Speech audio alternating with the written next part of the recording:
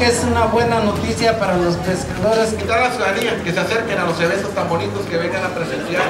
Es importante comentarles que con este torneo Bidby pues viene el inicio también de la temporada aquí en Los Cabos y sobre todo empieza a verse ya la actividad, más actividad aquí en el puerto.